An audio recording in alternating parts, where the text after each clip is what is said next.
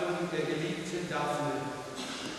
Die Nymphen und Hirten bitten Amor, sie vor ähnlichem Geschick zu bewahren.